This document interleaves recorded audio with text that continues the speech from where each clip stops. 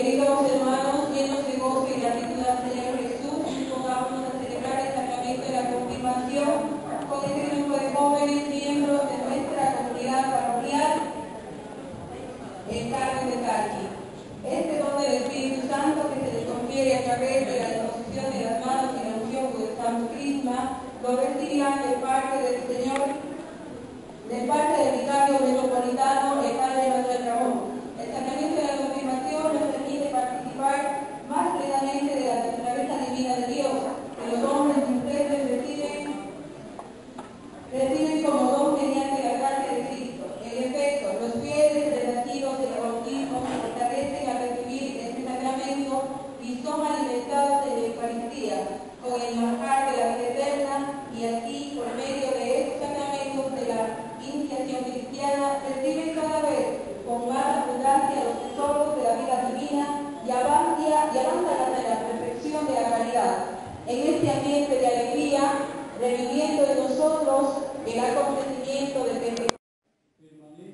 siempre con todos ustedes. y con tu espíritu.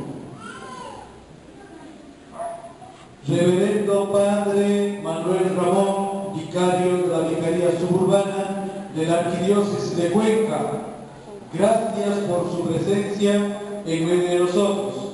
Sean ustedes bienvenidos a la iglesia para celebrar la confirmación de este grupo de jóvenes de la zona número 2, de la zona número 4 y de los adultos mayores de nuestra parroquia del Carmen de Tari.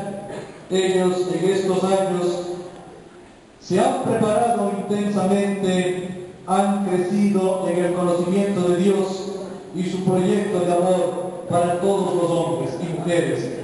Ellos mismos han podido experimentar en sus vidas el amor del Padre.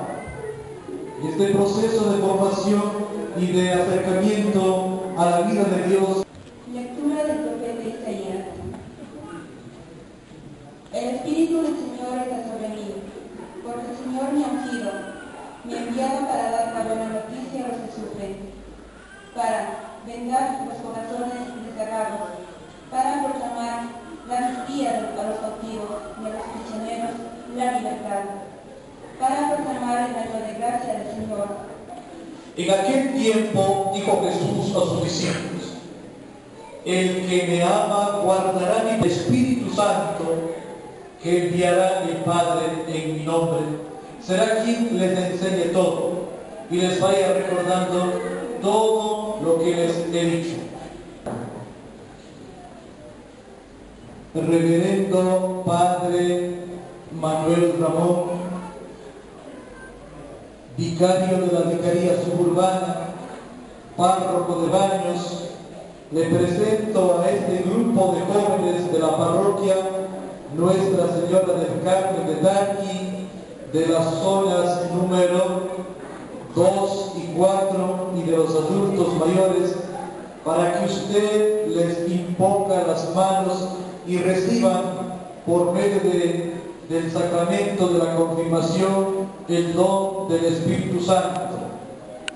Tiene la seguridad de que están suficientemente preparados. Ellos son conscientes de su fragilidad humana, de su pequeñez, que sin la ayuda del Espíritu Santo no podrán asumir la misión que Jesús encargó a su iglesia. Estos son los motivos por los cuales estos jóvenes han venido a la iglesia para caminar con ella y participar del don del Espíritu Santo que les une a la misión de Cristo en el mundo. Por estas razones creo que son dignos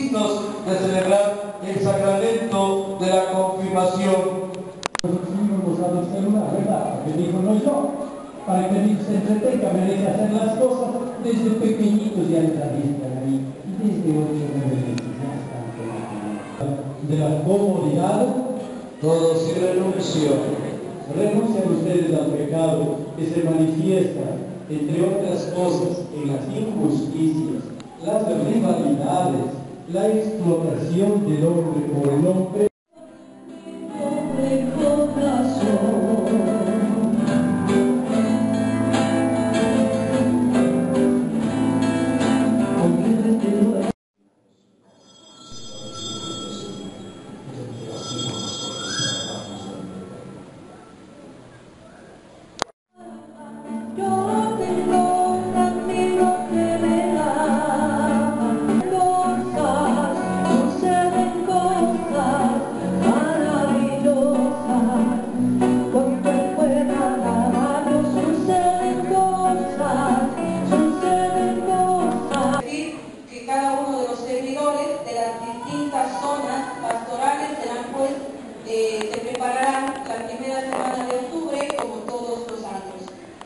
las cuentas detalladas las daré a conocer a cada uno de los, de los coordinadores zonales.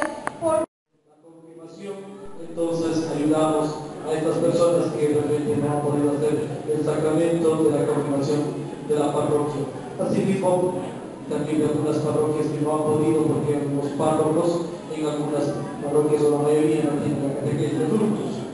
Asimismo, pues quisiera agradecer a la coordinación eh, de la zona, también por supuesto a la coordinación federal, representada de la señorita Rosa Logano, que está aquí presente. También, por supuesto, agradecer a los padres de familia que han confiado en nuestra parroquia la formación cristiana de, de los hijos de ustedes, de la inicial, la formación inicial cristiana.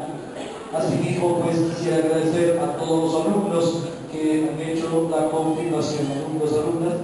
Como decía el Padre Manuel, no se acaba la catequesis, tenemos que seguir siendo buenos cristianos, honrados ciudadanos, tenemos que seguir el trabajo de la pastoral, tenemos que seguir, decía el Padre Manuel, aquí están los futuros servidores de la comunidad.